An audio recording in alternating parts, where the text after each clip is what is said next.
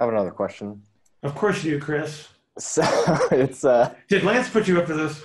no, but Okay, I'm kidding. no. Man. um, so bouncing off that right hip shift, I have an older female client who she is great with deadlifting. She's extremely strong with deadlifts. She's progressed very quickly over these past two Mhm. months. Mhm.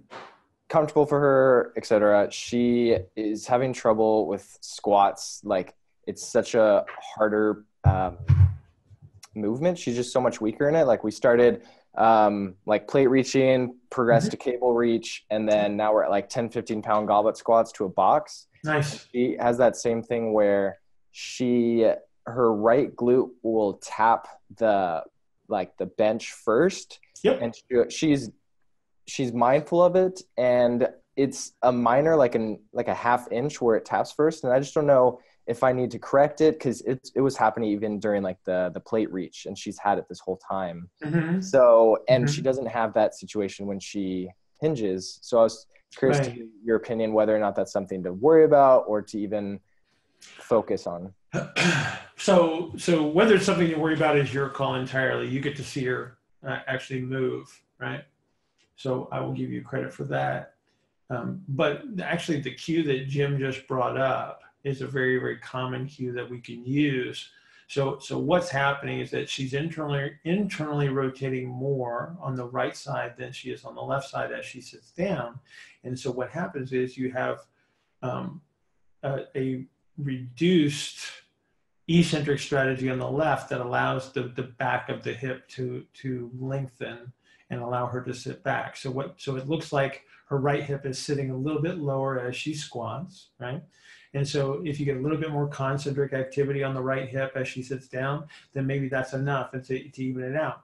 Maybe you need to give her um, like a, a, a right knee down half kneeling activity that that um, um, allows her to increase the ability of that left hip to uh, lengthen. So, so to eccentrically orient the posterior left hip, you can put her in, in right knee down, half kneeling activities, and then squat her and see if that doesn't help. Because that's an easy way to, to, to access left hip internal rotation. Okay. So again, there's, there's multiple strategies here um, and it may just be you just do the exercise in a little bit different sequence. You get a little bit different muscle activity um, in the in the left hip to, to right hip, and then that allows you to um, even out the squat if you think it's that big a deal, right? Because a squat is not a hinge, so so Right. they aren't there. One is one is a, a loading pattern and one is a propulsive pattern, and so so they shouldn't have the same muscle activity. So um, if she doesn't have a shift in a hinge, then chances are you're getting the muscle activity on the right side when she hinges, and you're not getting it um, when she squats. And so you might need to, to teach her a new strategy on the left side. Did Jim say bringing in the foot or pointing the toe in a little bit more? So it, it, it would depend on what you're seeing. So, um, but the, the goal would be to uh, place. Um, so if you think about a tripod foot, have you guys talked about that? Okay. So if you load the, the, the medial aspect of a tripod foot a little bit more aggressively, um, that's going to externally rotate up the chain, right? Up the lower extremity and, and may provide you an element of that. So maybe it's just a matter of you cueing the, the, the sensation on the bottom of the foot or the, or the foot position. And maybe that cleans up everything that you want, right? Again, without having to chase another exercise, you just give it a, a cue.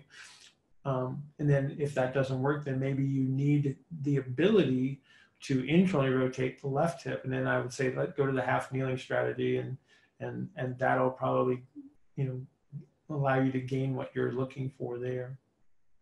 Does it matter what activity to do during half kneeling or just the position? Yeah, it does help. Um, but you know, if you do like a uh, uh, a right knee down, half kneeling cable press with an exaggerated reach, um, a lot of times, so to, to to create the exaggerated reach, you have to internally rotate the left hip.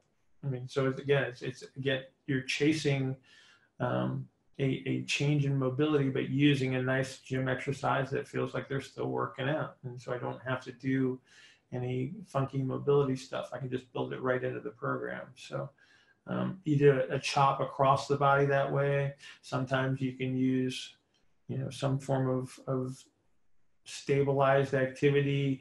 Some people can do um, a, uh, a kettlebell chop and lift or a halo or something.